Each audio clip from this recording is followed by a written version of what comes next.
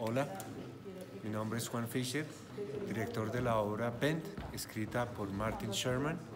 Vamos a preestreno el 17, o sea, mañana. Hoy hay una función para los estudiantes.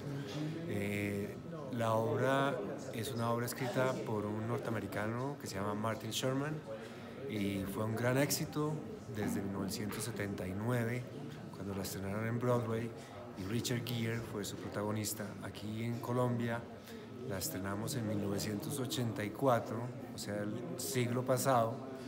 Yo tuve el gran placer de ser dirigido por Gustavo Londoño, que pues descanse, un gran amigo. También interpreté el papel de Greta.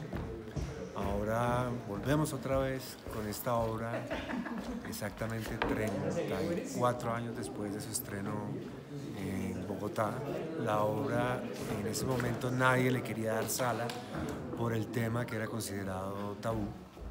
La obra transcurre durante el régimen nazi y se trata acerca de la persecución de una minoría, en este caso los homosexuales, pero como sabemos eh, este tipo de regímenes y dictaduras siempre la emprenden contra todas las minorías. Ah, es bien sabido de los campos de concentración para los judíos, pero ahí terminaron también los homosexuales.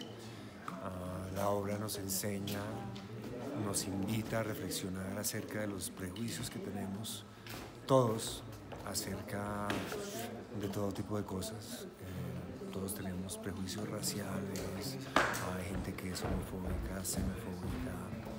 Y es una invitación, como lo había dicho antes, a que reflexionemos, a que tengamos un poco de empatía con las minorías, porque en el fondo todos somos iguales.